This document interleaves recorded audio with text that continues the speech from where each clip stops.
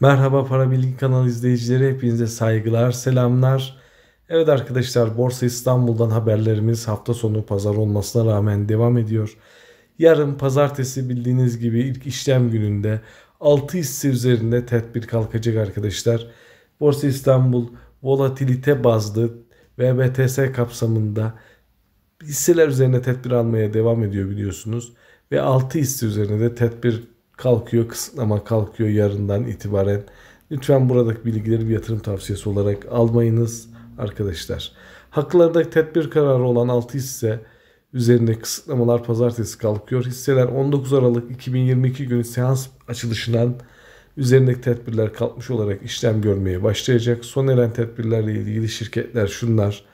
Bakap açığa satış yasağı ve kredi işlem kalkıyor arkadaşlar. Bak ambalaj, Elite organik gıda açığa satış ve kredi işlem yasağı kalkıyor. İttifak Holding açığa satış yasağı ve kredi işlem yasağı kalkıyor. Odaş Elektrik açığa satış yasağı ve kredi işlem yasağı kalkıyor. Panelsan Çatı Cephe açığa satış yasağı ve kredi işlem yasağı kalkıyor.